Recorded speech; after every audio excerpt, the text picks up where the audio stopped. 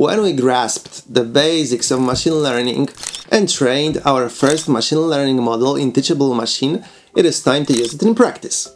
Let's import our model into Scratch and use it as a computer vision controller for our Scratch game.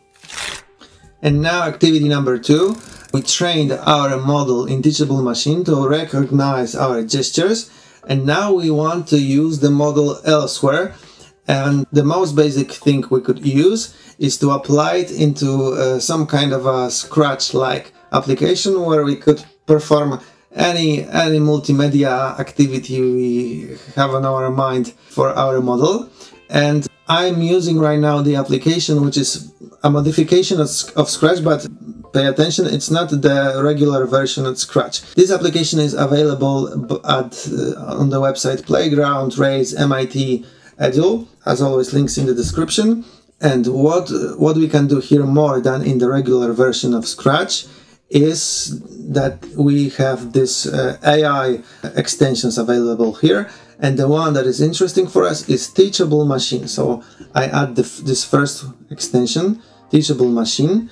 And as you can see it already started the video input in the window of, of my scene here. And now we can start and build our own application upon machine learning model that we created. So if we take this block use model and here we need to paste this URL that was generated by teachable machine. So we have this URL to the model that we uploaded to the cloud and we launch it. We have here this uh, green light that it is working okay. And the other thing we need is this model prediction block. So this is the the output of the model. If I click if I click it now it uh, outputs the nothing classification that the model performs. So for example, if I just do something very simple, I take the forever loop and from looks I'll take the say, I will take the sprite and make the sprite say this, this model prediction label mm, and start this thing. He will just be saying you see left, right, nothing. He just says what he sees. What the model sees, the, the sprite repeats just this label name. He, he works, it works correctly, left, right, nothing. Okay, so now we can do anything we, uh, we already know in Scratch. We can apply our model as a controller to any Scratch game. I won't go uh, deeply into that. I'm sure you have your own ideas of activities you could do in Scratch that you could attach this model to, but just something like something very simple. Uh, for example, let's just add the condition if if the model prediction is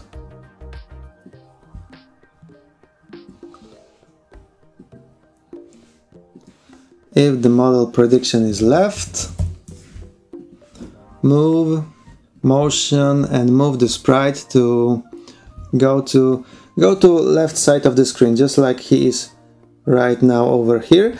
And if the model prediction is right I want him to move right. So then I will duplicate this. If the model prediction is right move the model to x150 150 just like something like here. And let's start this. And let's see left right left right left right. So you see by moving my hand now by showing the gestures I control the sprite so we could attach this to any game like catching objects falling from the top of the screen or something else like a car driving a road. Whatever comes to our mind and to the imagination of your students. You can still add maybe the third condition, nothing. And then when nothing, move to zero. Okay, let's see if it works. Nothing, left, right, left, right, left, right, nothing. It works. So, as you can see, it's very easy to apply and use our model trained in the teachable machine to some other application where we can perform some more advanced activities upon the thing that we trained our model to do.